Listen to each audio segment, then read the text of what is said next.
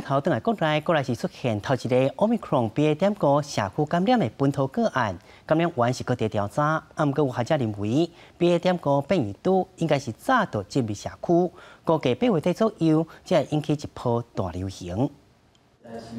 国内出现第一例 Omicron BA. 点五社区感染本土个案是北部一十外岁女性，因为个案共大父母捌伫七月初确诊，指挥中心高度怀疑是一件家庭群组，感染源也伫调查当中。有学者认为 BA. 点五可能早就伫社区传播，啊，毋过个人第三期疫苗注射率有七成，加上五月六月自然感染率悬，有抗体保护，有估八月底左右 BA. 点五则可能引起一波本土大流行。除非是说 BA 点四跟点五占我们的确诊人数的这个比例要到达三十 percent 以上，比较容容易引起比较大波的一个感染。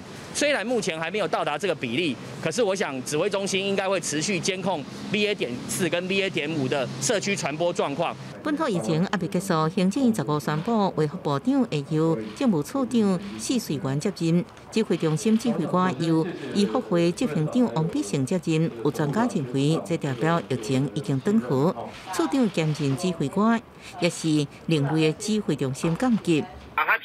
变成只是卫福部的一个次长，那这是表示要协调指挥的内容，要协调指挥的事项已经开始变少，也象征着这个 COVID-19 的疫情逐渐在趋缓。专家跟学者拢认为，王必胜真济摆担任前进指挥所指挥官，包含苗栗金源电子厂移工群组、屏东调查病异都群组安定，扮演好救火队的角色。四水官是有医师甲法律专业，行政经验丰富，接任部长职务，外界认为是正好人选。记者综合报道。